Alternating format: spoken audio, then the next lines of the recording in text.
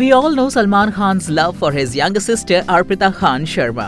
अपनी बहन के लिए Salman can do anything and he never shies to express his love for his adorable sister Arpita Khan's wedding with Ayush Sharma was a big fat ceremony. She had her Haldi, Mehndi and Sangeet ceremony on November 16. The wedding took place on November 18, 2014 at Hyderabad's Falaknuma Palace with Hindu rituals. The reception took place on November 21st at a five-star hotel in Mumbai.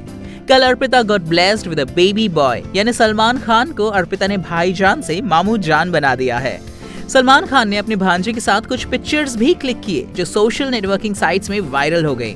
Salman ने अपने भांजे का नाम अहिल रखा है and Ahil is an Arabic name जिसका मतलब होता है प्रिंस देखा आपने? जनाब अभी अभी तो बस आए हैं, और सलमान ने उन्हें अपना प्रिंस भी बना लिया। Isn't he so cute and his name suits him?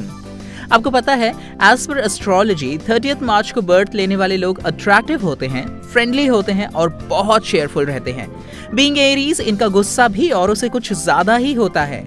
March thirtieth birthday also says that they probably are a determined entrepreneur that started on their journey early in life somehow money came effortlessly to them they know how to make a dollar when others could not they knew then that they are going to be successful मतलब एक successful personality के गुण अहिल में है और ये बात पुख्ता करती है इनकी date of birth Congratulations to Arpita and Ayush and Salman for this cute, adorable new member, Ahil.